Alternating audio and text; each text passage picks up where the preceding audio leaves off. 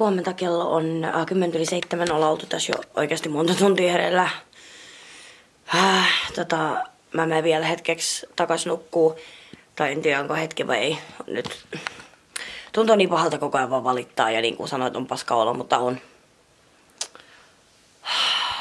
Joo. Niin tota, yleensä nukkuminen auttaa silloin, plus kun jos on nukkunut pari tuntia yöllä, niin tota, on ihan kiva mennä takaisin nukkuu.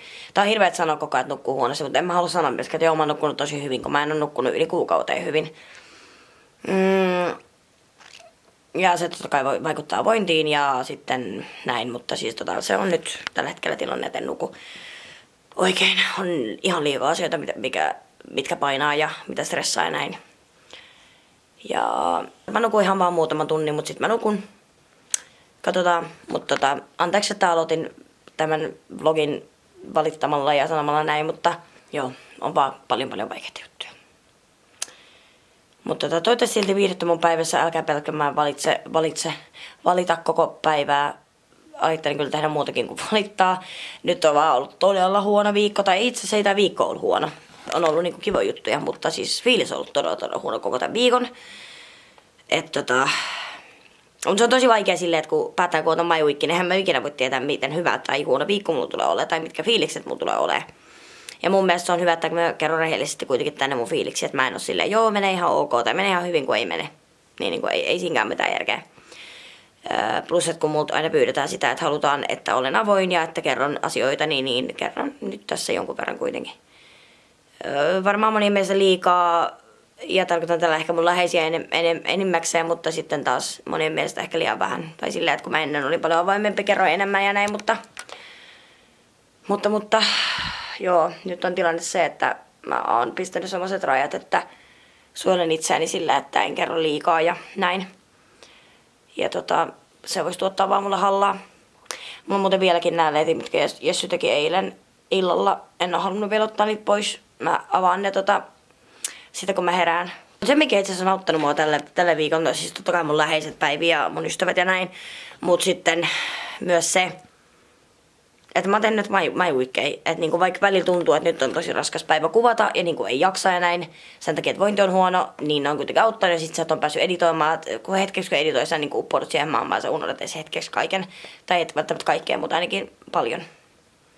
Niin se on auttanut tosi paljon. Niin tota, jotain positiivista ja aina yritän löytää jotain positiivista jokaisesta päivästä ja näin, että kaikissa päivissä on varmasti jotain hyvää. Että tota, joo. Nyt lopetan tätä valittamisen menen nukkumaan. Ää, palaillaan sitten, kun olen herännyt. Ja tota, sanon vielä kerran, että toivottavasti viihdyt tässä päivässä. Olen herännyt, kello on vähän yli neljä, on siis ollut tässä jonkun aikaa herällä, että mä nyt äsken herännyt. Ää, mutta tota, joo, Mä rupean kohta editoimaan My Weekin eilistä päivää. Ja sitten me pitäisi siivota joku päivä. Mä oon miettinyt sitä kaksi viikkoa, että me siivotaan silleen kunnolla, mutta ei ole vielä siivottu.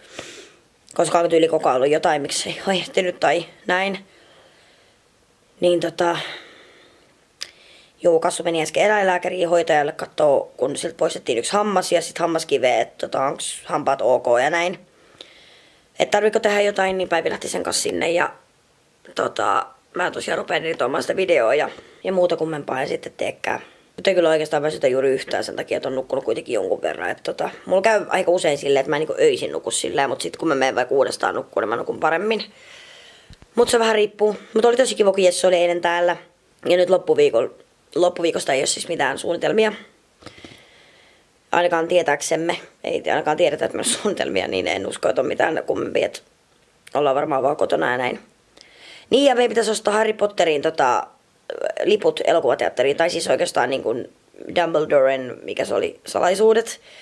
Niin semmoinen on tulossa leffateattereihin, se tuli mun Facebookin etusivuille yksi päivä, niin me pitäisi ostaa ne, me saadaan paikat. Siis ne on tulevassa huhtikuussa, olisiko se ollut 7. vai 8. huhtikuuta, kun se tulee, mutta silleen, että voi nyt jo ostaa liput. Ja mä veikkaan, että koska se liittyy Harry Potteriin jollain tavalla, niin mä liityn, liityn kun siis veikkaan, että se tulee olla aika suosittu niin voi olla, että paikkoja välttämättä saa, niin meidän pitäisi ostaa. Ne oli tullut jo 12 yöllä, niin meidän pitäisi kyllä oikeasti ostaa ne heti kun Päivi tulee kotiin.